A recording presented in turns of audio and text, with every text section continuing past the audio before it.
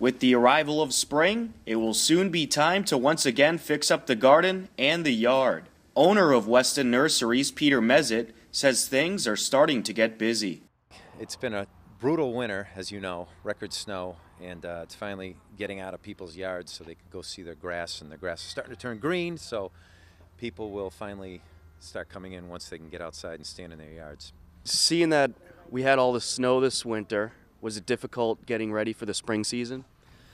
It was, especially we have a lot of changes going on at Weston Nurseries where we're redoing our, our retail sales area here, our garden center uh, infrastructure. We're, we're adding new blocks to display planters and moving our plants to different locations. So we couldn't really start that until first week of April here, just last week.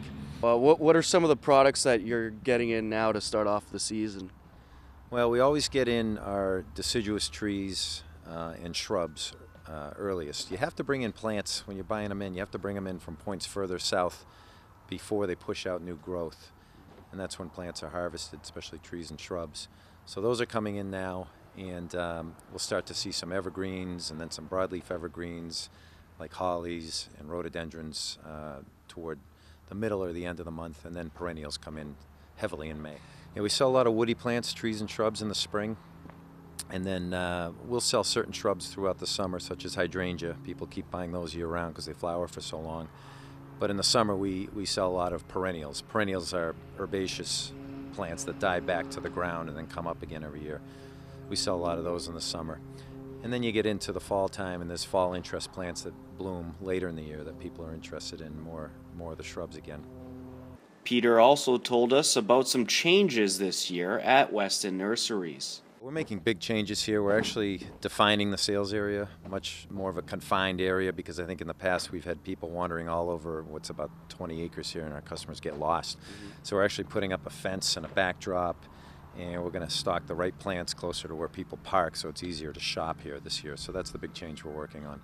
So another thing new that we're doing this year is when you walk into our garden center and go behind the garden center, you're going to see a themed garden area with different plant displays there will be displays for plants of winter interest, plants that the deer don't like to eat, plants that we've introduced that are unique to Weston Nurseries, um, shade perennial plants, um, hot plants that can tolerate hot south-facing slope.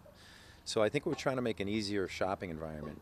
There'll be good signage with each of these plant displays, and people can go around and figure things out a lot easier than they were able to in the past. I think people all know their certain yard situation, whether it's a dry area, shady area, wet area, or if they have a deer problem. And we're trying to just create solutions for people so that when they come in, they can kind of figure more out on their own.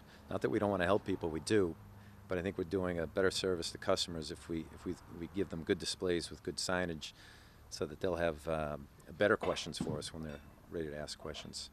Uh, just last year got into hardscaping, which is manufactured stone, like bricks that are manufactured, uh, different colors, shapes, and sizes, different vendors, and natural stone as well. So the Garden Center now offers uh, two well-known manufactured stone vendors, Ideal and Techo-Bloc, and a whole uh, range of natural stone products from your cobblestone to your bluestone to your fieldstone, wallstone, and steppers. And, good products to build walls and patios for the do-it-yourselfer or for somebody to do it for them.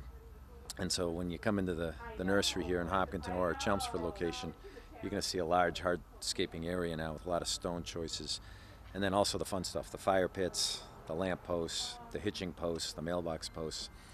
So we've been thinking about this for a long time and it's become such a important feature in the landscape so we can't just be all plants anymore. We have to be in the hardscaping business as well. So we're excited about that. Employees are hard at work, renovating and setting up stock to get Weston Nurseries ready for what hopefully will be a great spring and summer for gardening and yard renovations.